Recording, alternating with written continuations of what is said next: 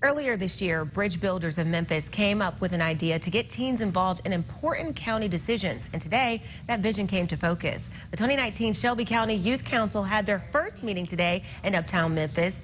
The group was assembled to help solve issues that youth have identified with in the community.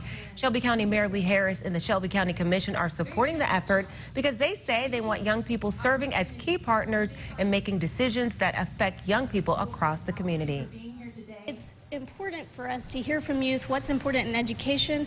It's important for us to hear from youth on why they need transit. Uh, youth actually fought for transit funding here uh, and won 3,000 bus passes uh, from Shelby County schools. And so uh, we've got to hear from youth on these issues because we know that they are directly impacted by them. The group is made up of two high school students from each Shelby County Commission district. They were selected to represent a wide range of ages, races, and genders.